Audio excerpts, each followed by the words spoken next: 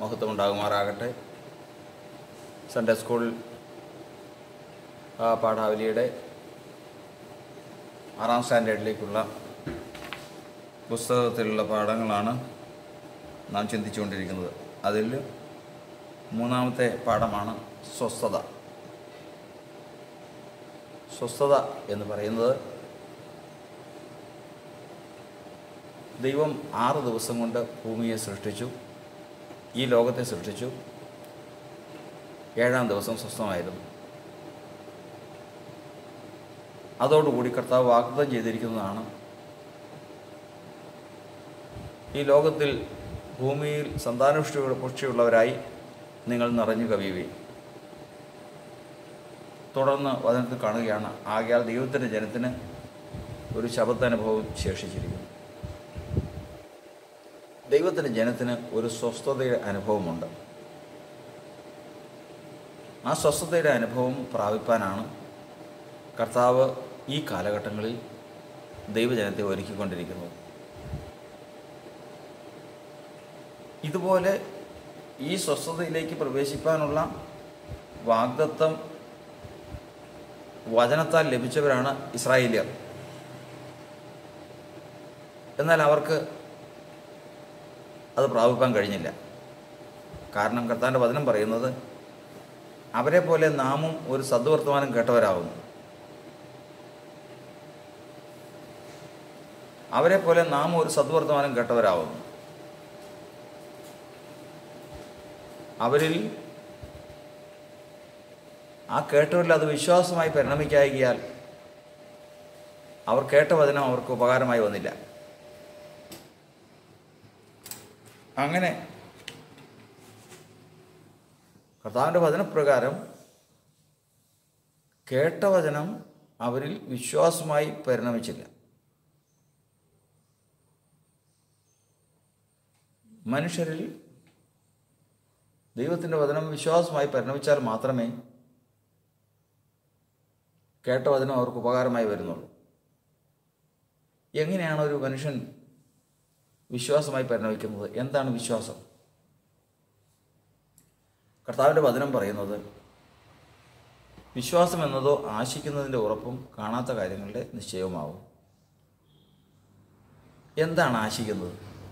മനുഷ്യന്റെ ആശയം എന്താ? മുൻ നിയമിക്കപ്പെട്ട മനുഷ്യന്റെ ആശയാണ് നിത്യജീവൻ. അതുകൊണ്ടാണ് വചനം മുപ്പത്തിയാറാം സങ്കീർത്തനം പഠിക്കുന്നത് ജീവനെ ആഗ്രഹിക്കുകയും ശുഭകാലം കാണുവാൻ ഇച്ഛിക്കുകയും ചെയ്യുന്നവൻ. ഈ ലോകം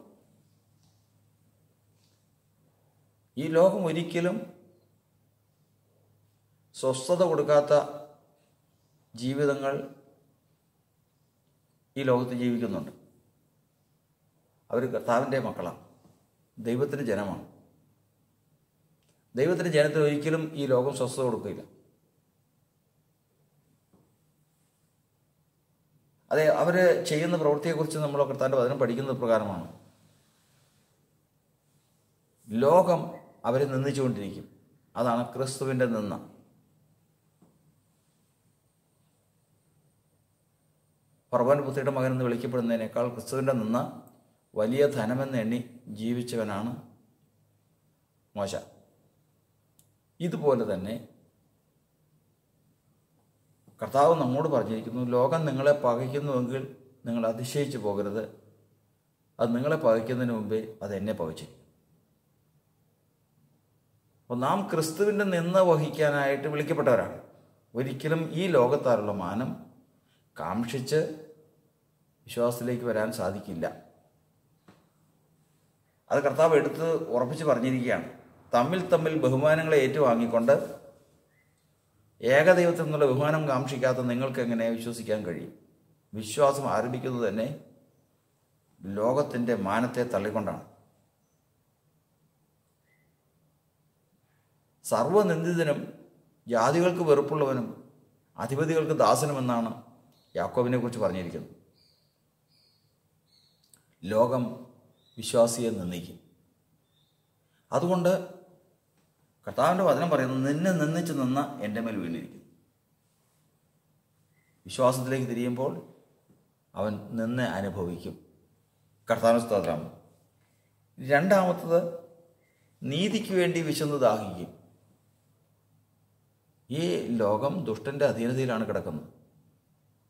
ഈ ലോകത്തിന്റെ പ്രവൃത്തി ശരിയല്ല. ഈ ലോകത്തിന്റെ പ്രവൃത്തി ദോഷമുള്ളത് എന്ന് യേശു ലോകത്തെക്കുറിച്ച് സാക്ഷ്യം പറഞ്ഞതുകൊണ്ടാണ് ലോകം യേശുവിനെ പകച്ചത്. ഈ ലോകത്തിന്റെ പ്രവൃത്തി ശരിയല്ല എന്ന് കർത്താവ് സാക്ഷ്യം പറഞ്ഞു. അതുകൊണ്ടാണ് ലോകം കർത്താവിനെ പകച്ചത്. കാരണം ഈ ലോകത്തിന്റെ പ്രവൃത്തി അനീതിയാണ്. യശാപ്രവണത്തിൽ നമ്മൾ പഠിക്കുന്ന പോലെ ആഭാസനെ മഹാത്മാവ് എന്ന് പറയുന്ന ഒരു ലോകം. ഈ ലോകത്തിൽ യാതൊരു തരത്തിലും നീതിമാനായി നീതിയുടെ പൂർത്തീകരണം വരുത്തുവാൻ സാധിക്കില്ല. കാരണം നീതിമാനായി ഒരുവൻ ജീവിച്ചാൽ അവന്റെ അനുഭവം എന്ന് പറയുന്നത് യേശുവിന്റെ അനുഭവം തന്നെയാണ്. പലരും നമ്മൾ പറയും അവൻ നീതിമാനാണ് അവൻ കുറ്റമറ്റവനാണ് എന്നെല്ലാം നമ്മൾ വാക്കിനാൽ പറയും. സാധിക്കില്ല. കാരണം ഈ ലോകത്ത് ജീവിച്ചുകൊണ്ട് ഒരുത്തനും ക്രിസ്തുവിനെ കൂടാതെ നീതിമാനായി ജീവിക്കാൻ സാധിക്കില്ല. നീതിമാൻ ഒരുവൻ മാത്രം. അവൻ ദൈവമാണ്. അവൻ ജഡത്തിൽ വെളിപ്പെട്ട ദൈവമായ ക്രിസ്തുവാണ്. അവനൊഴികെ നീതിമാനാരായി ജീവിക്കാൻ ആർക്കും സാധിക്കില്ല. കാരണം സകല ലോകവും ദുഷ്ടന്റെ അധീനതയിലും നിയന്ത്രണത്തിലുമാണ്. എന്നാൽ ഇവിടെ കത്താന്റെ വചനം പറയുന്നത് ഈ അനീതി മുഴുവനും അനുഭവിക്കുന്ന ഒരു കൂട്ടരുണ്ട്. നമ്മൾ ലോകത്തിൽ ഓരോ ദിവസവും നടക്കുന്ന വാർത്തകൾ നമ്മുടെ ജീവിതത്തിൽ നമ്മൾ പേപ്പർ വായിക്കുമ്പോൾ നമ്മൾ രാവിലെ എഴുന്നേറ്റ് വായിക്കുക തുടക്കം മുതൽ വായിച്ചു. നമ്മളത് വായിച്ചു വിട്ടു. വേറൊരാളത് വായിച്ചു. ജാതികൾ വായിച്ചു. ഇങ്ങനെ എല്ലാവരും വായിച്ചു. എന്നാൽ ഈ ദിവസം ഈ കഴിഞ്ഞ ഒരു ദിവസം ഉണ്ടായിരുന്ന വാർത്തകളെക്കുറിച്ച് വാർത്ത കേട്ട് കഴിയുമ്പോൾ ഈ ലോകത്തിന്റെ അനീതി പ്രവർത്തികൾ അതിൽ വെളിപ്പെട്ട അനുഭവം ഇന്നത്തെ നമ്മൾ പേപ്പറുകൾ വായിച്ചു കഴിഞ്ഞാൽ നമുക്കറിയാം. ഇന്നത്തെ ന്യൂസുകൾ കേട്ട് കഴിഞ്ഞാൽ നമുക്കറിയാം. അത്രയധികം അനീതിയുള്ള പ്രവൃത്തികളും അധർമ്മ പ്രവൃത്തികളും നടന്ന നടക്കാത്ത ദിവസമില്ല. കാരണം ഈ ലോകത്തിന്റെ പ്രവൃത്തി അങ്ങനെയാണ് ഇത് നമ്മൾ വായിച്ചങ്ങ് വിട്ടു വേറൊരാളും വായിച്ചു വിട്ടു ഇങ്ങനെ അങ്ങ് വായിച്ച് വായിച്ചു വിട്ടു. എന്നാൽ കർത്താവ് പറയുന്നത് തന്റെ നീതിയുള്ള മനസ്സിൽ നൊന്ത് വിഷമിക്കുന്ന ഒരു കൂട്ടരുണ്ട്. സ്വതം കോമുറയുടെ അനുഭവം ഇതാണ്. സ്വതവും കോമുറയിൽ ദിനം പ്രതി അനീതിയും അധർമ്മവും ദുഷ്കാമ പ്രവൃത്തികളുമാണ് ഇത് കണ്ടും കേട്ടും ലോത്തിന്റെ ഹൃദയം വേദനപ്പെട്ട് ഞരങ്ങുകയാണ്. വേദനയാണ്. അങ്ങനെ വലഞ്ഞു പോവുകയാണ്. ലോ ആ ലോകത്ത് നടക്കുന്ന ആ ദേശത്ത് നടക്കുന്ന എല്ലാ വാർത്തകളും എല്ലാവരും കേൾക്കുന്നുണ്ട്. പക്ഷെ ലോകത്തിന് മാത്രം ബാധിക്കേണ്ട കാര്യം എന്താ? ദൈവത്തിന്റെ വചനം പറയുന്നത്. നീതിയുള്ള മനസ്സ് ദൈവം കണ്ടിട്ടുള്ളവൻ ദൈവം മുൻകണ്ടിട്ടുള്ളവന്റെ പ്രത്യേകതയാണ് അധർമ്മ പ്രവൃത്തി ദോഷപ്രവൃത്തി കാണുകയും കേൾക്കുകയും ചെയ്താൽ തന്റെ ഹൃദയം അസ്വസ്ഥമാകാൻ തുടങ്ങും. അസ്വസ്ഥമായി അവൻ വലഞ്ഞു പോകും. അത് ജഡമനുഷ്യന് മനസ്സിലാവില്ല. വലഞ്ഞു പോവുക എന്നുള്ളത് ഭക്ഷണം കഴിക്കാതെ വലഞ്ഞു പോകുന്നവരുണ്ട്. ഭക്ഷണം കഴിക്കാതെ വലഞ്ഞു പോകുന്നവരുണ്ട്. സമ്പത്തില്ലാതെ വലഞ്ഞു പോകുന്നവരുണ്ട്. ശരീരം ക്ഷയിച്ച് വലഞ്ഞു പോകുന്നവരുണ്ട്. എന്നാൽ നീതിക്ക് വേണ്ടി വിശന്ന് ദാഹിച്ചു വലഞ്ഞു പോകുന്ന ആരുണ്ട്? അത് വേറെ ആർക്കും മനസ്സിലാവില്ല. അത് ദൈവത്തിന് മാത്രം മനസ്സിലാകുന്ന ഒരലച്ചിലാണ് അങ്ങനെ ഒരു കൂട്ടം ഈ ലോകത്തിലുണ്ട്. അങ്ങനെ ഒരു കൂട്ടം ഈ ലോകത്തിലുണ്ട്. കാരണം നോക്കി നിന്നുകൊണ്ട് ഏത് അധർമ്മ പ്രവൃത്തിയും ഏത് നിഷ്ഠൂര പ്രവൃത്തിയും ഏത് നിഷ്ഠൂര അനുഭവവും നോക്കി നിന്ന് കണ്ട് യാതൊരു സങ്കോചവും ഇല്ലാതെ സന്തോഷത്തോടെ ആ യഥാർത്ഥത്തിൽ ആ നടക്കുന്നത് നമുക്ക് ഒരു വാക്ക് പോലും കേൾക്കാൻ കേട്ടിരിക്കാൻ സാധിക്കില്ല. അതുപോലുള്ള കാര്യങ്ങളാണ് അവിടെ കേൾക്കുന്നത്. അവിടെ കാണുന്നത്. അത് സന്തോഷത്തോടെ കിട്ടുന്ന കിട്ടുന്ന ഒരു ചിത്രം കാണുന്നു എന്നുള്ളത് പോലെ താല്പര്യത്തോടെ കണ്ടു നിന്ന് പോകുന്ന എത്രയോ പേര് എത്രയോ പേര്. എന്നാൽ ഒരു ചെറിയ മുഖഭാവം അരുതാത്ത മുഖഭാവം കണ്ട് ആ മുഖഭാവം കണ്ടതിന് ശേഷം സ്വസ്ഥത അനുഭവം ഇല്ലാതെ വലഞ്ഞു പോകുന്ന ജീവിതങ്ങൾ എത്രയാണെന്നറിയാം അങ്ങനെ ഒരു കൂട്ടം ഈ ലോകത്തിലുണ്ട്. മറന്നു പോകരുത്. വലഞ്ഞു പോകുന്നവർ ഭക്ഷണം കഴിക്കാതെ വലഞ്ഞു പോകുന്നവർ പൈസ ഇല്ലാതെ വലഞ്ഞു പോകുന്നവർ ക്ഷീണം കൊണ്ട് വലഞ്ഞു പോകുന്നവർ കലഹം കൊണ്ട് വലഞ്ഞു പോകുന്നവർ പല പല വലച്ചിലാണ് ലോകത്തുള്ളത്. പക്ഷേ നീതിക്ക് വേണ്ടി വിശന്ന് ദാഹിച്ച് അത് കിട്ടാതെ വലഞ്ഞ് അവശമായിരിക്കുന്ന ജീവിതങ്ങൾ ഇന്ന് ലോകത്തുണ്ട്. അവരെയാണ് കർത്താവ് നോക്കുന്നത്. കർത്താവിന്റെ വചനം പറയുന്നത് ഭാരപ്പെടേണ്ട അവർക്കാണ് ഒരു സ്വസ്ഥത കർത്താവ് ഒരുക്കിയിരിക്കുന്നത്.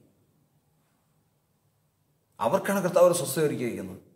കാരണം കഷ്ടപ്പെടുന്നവനെയോ നീരസപ്പെടുന്നവനെയോ അല്ല പിന്നെയോ വലഞ്ഞു പോകുന്നവനെ ദൈവം എഴുതി വയ്ക്കുക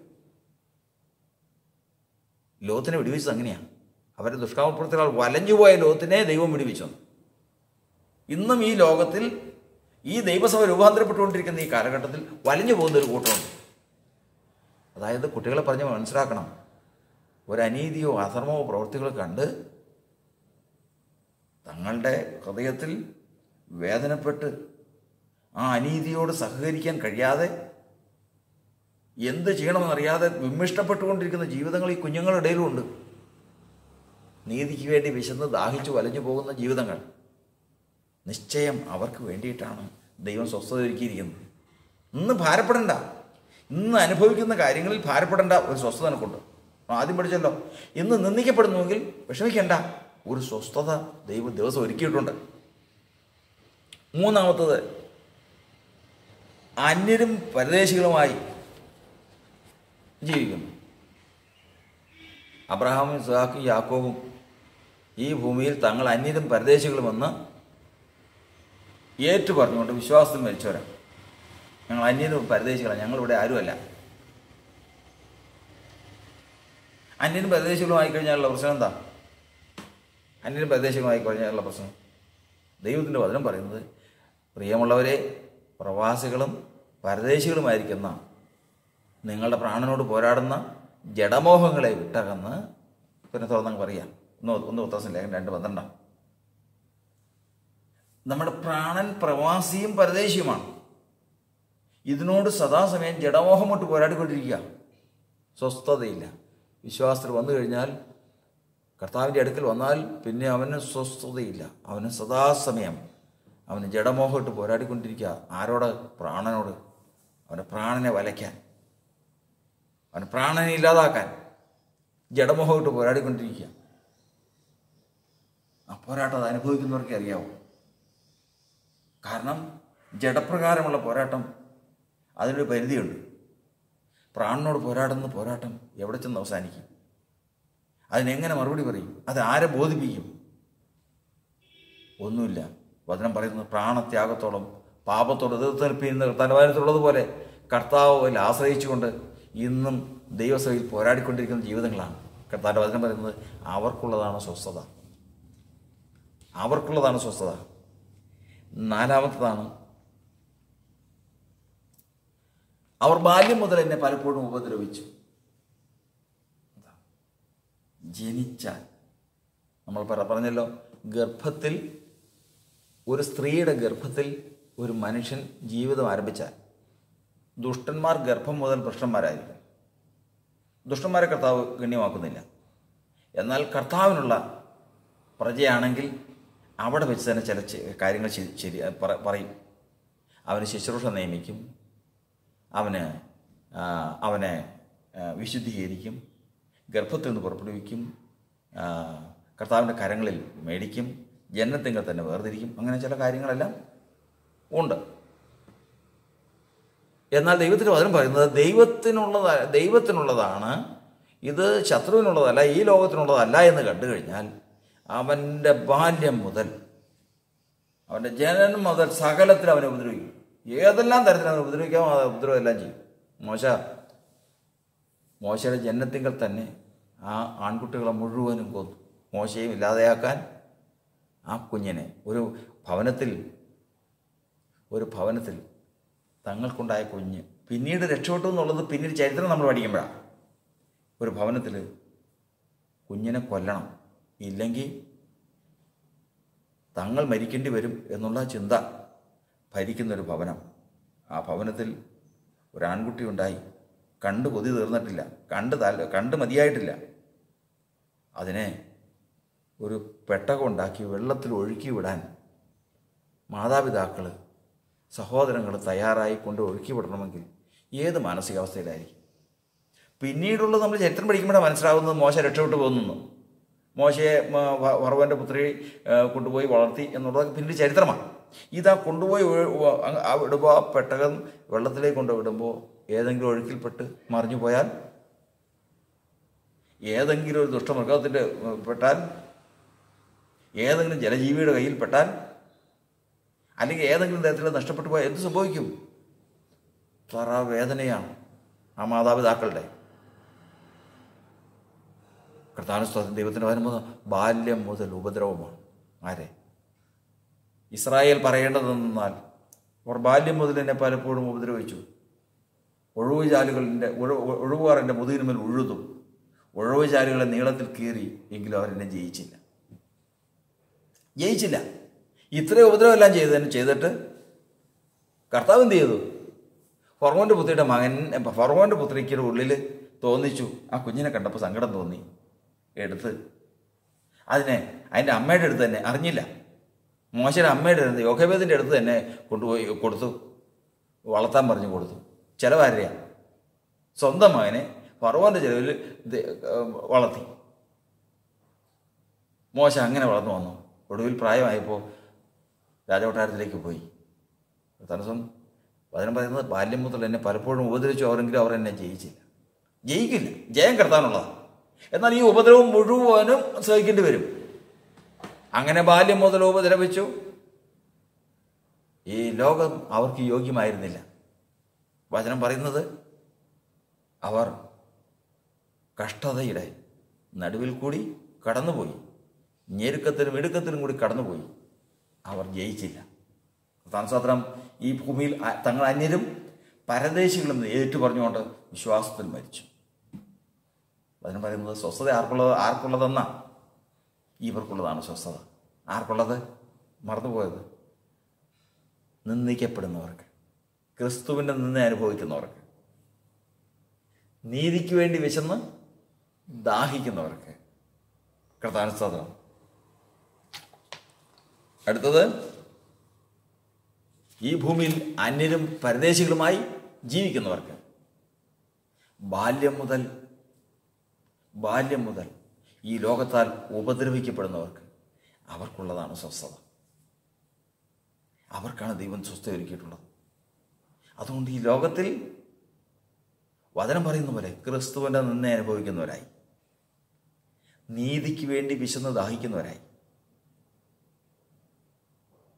ഈ ഭൂമിയിൽ തങ്ങൾ അന്യരും പരദേശികളും ഒന്ന് ഏറ്റുപറയുന്നവരായി കർത്താന സ്തോത്രം. ഈ ലോകത്തിൽ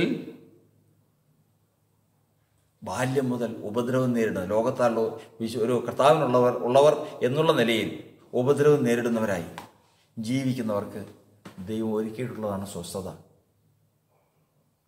ഈ നാലു കൂട്ടം കാര്യങ്ങൾ മുഖ്യമായിട്ടും അനുഭവിക്കുന്നവരുണ്ടെങ്കിൽ കർത്താവിന്റെ വചനം പറയുന്നത് അവരോട് ദൈവത്തിന്റെ വചനം പറഞ്ഞാൽ ഇത് വിശ്വാസമായി പരിണമിക്കും. അല്ലാത്ത ഒരുത്തിനോട് ചെന്ന് കഴിഞ്ഞ് സുവിശേഷം പറഞ്ഞു കഴിഞ്ഞാൽ അവൻ കേൾക്കില്ല അവൻ കേൾക്കില്ല കാരണം വെച്ച് കഴിഞ്ഞാൽ അവനിപ്പോൾ കുഴപ്പമൊന്നുമില്ല ഇവിടെ. അവനിപ്പോൾ സ്വസ്ഥത സ്വസ്ഥതയ്ക്ക് കുഴപ്പമൊന്നുമില്ല. അവനിപ്പോൾ ഇപ്പം തന്നെ സ്വസ്ഥതയാണ് എന്നാൽ നിന്ദിക്കപ്പെടുന്ന ക്രിസ്തുവിന്റെ നാമനിമിത്തം നിന്ദിക്കപ്പെടുന്ന ഒരു കൂട്ടം. നീതിക്കേണ്ടി വിശന്ന് ദാഹിക്കുന്ന ഒരു കൂട്ടം. ഭൂമിയിൽ പരദേശികളായി ജീവിക്കുന്ന ഒരു കൂട്ടം. ബാല്യം മുതൽ ഉപദ്രവിക്കപ്പെടുന്ന ഒരു കൂട്ടം. ഇന്ന് ഈ ലോകത്തുണ്ട്. കുഞ്ഞുങ്ങളെ പറഞ്ഞ് മനസ്സിലാക്കണം. ഈ ഇവർക്കാണ് ദൈവം സ്വസ്ഥത ഒരുക്കിയിരിക്കുന്നത്. ഇങ്ങനെയുള്ളവരുടെ കയ്യിലാണ് നമ്മൾ സുവിശേഷം കൊണ്ട് എത്തിക്കേണ്ടത്. ഇങ്ങനെയുള്ളവരോട് ഒരാളോട് സുവിശേഷം പറഞ്ഞാൽ അവനുള്ള പ്രതിഫലം വലുത് വലുതാണ്. കർത്താന സ്തോത്രം അതുകൊണ്ട് നമുക്കൊരു സ്വസ്ഥത ദൈവം ഒരുക്കിയിരിക്കുന്നു. സ്വസ്ഥത ആർക്കാ വേണ്ടേ? സ്വസ്ഥത ഇല്ലാത്തവർക്ക്. സ്വസ്ഥത ഇല്ലാത്തവരാരാ? നിന്ദിക്കപ്പെടുന്നവർ നീതിക്ക് വേണ്ടി വിശന്ന് ദാഹിക്കുന്നവർ ഭൂമിയിൽ അന്യരും പരദേശവുമായി ജീവിക്കുന്നവർ ബാല്യം മുതൽ ഉപദ്രവിക്കപ്പെടുന്നവർ ഇങ്ങനെയുള്ളവർ ഇങ്ങനെയുള്ളവർ വചനം കേൾക്കുമ്പോൾ സ്വീകരിക്കും കേട്ട വചനം അവർ വിശ്വാസമായി പരിണമിക്കും അവർ കർത്താവിന്റെ നാമത്തിൽ സ്വസ്ഥതയിൽ പ്രവേശിക്കും. ഇത് കുഞ്ഞുങ്ങളെ പറഞ്ഞ് മനസ്സിലാക്കി അവർക്ക് ഈ ലോകത്തിൽ ഈ ലോകത്തിൽ നിന്ന് അവർക്ക് ലഭിക്കാനുള്ളതെന്ത് ഈ ലോകം അവർ അവർക്ക് എങ്ങനെ എങ്ങനെ അനുഭവിക്കാൻ ഇടയായിത്തീരുന്നു? ഈ ലോകത്തിൽ അവർ എങ്ങനെയായിരിക്കണം? ഒരു നീതിമാന്റെ ജീവിതം എന്തായിരിക്കണം? എന്നുള്ളത് കുഞ്ഞുങ്ങളെ പറഞ്ഞ് മനസ്സിലാക്കി കഴിഞ്ഞാൽ നാം ഈ പാഠം കൊണ്ട് ഉദ്ദേശിക്കുന്നത് നിവൃത്തിയായി ദൈവത്താലുള്ള അനുഗ്രഹവും അതിനാൽ പ്രാപിക്കും.